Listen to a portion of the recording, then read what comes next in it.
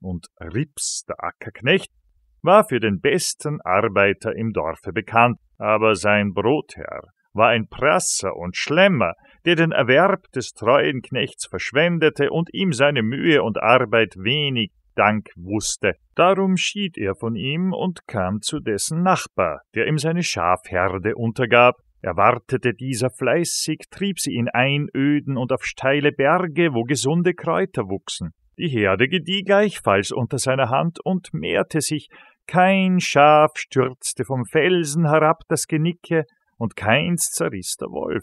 Aber sein Brotherr war ein karger Filz, der seinen treuen Knecht nicht lohnte, wie er sollte, denn er stahl den Besten wieder aus der Herde und kürzte dafür den Hirtenlohn. Darum entlief er dem Geizhals und diente dem Richter als Herrenknecht, ward die Geißel der Diebe und frönte der Justiz mit strengem Eifer, aber der Richter war ein ungerechter Mann, beugte das Recht, richtete nach Gunst und spottete der Gesetze.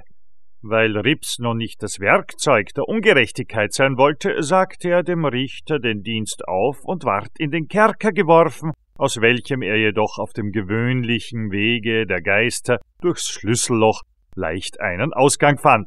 Dieser erste Versuch, das Studium der Menschenkunde zu treiben, konnte ihn unmöglich zur Menschenliebe erwärmen. Er kehrte mit Verdruss auf seine Felsenzinne zurück, überschaute von da die lachenden Gefilde, welche der menschliche Gewerbefleiß verschönert hatte, und wunderte sich, dass die Mutter Natur ihre Spenden an solche Bastardbrut verlieh.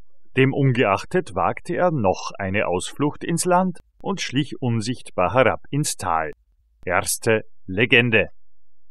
Einst lauschte Rübezahl in Busch und Hecken. Da stand vor ihm die Gestalt eines Mädchens, lieblich anzuschauen. Wie die medizäische Venus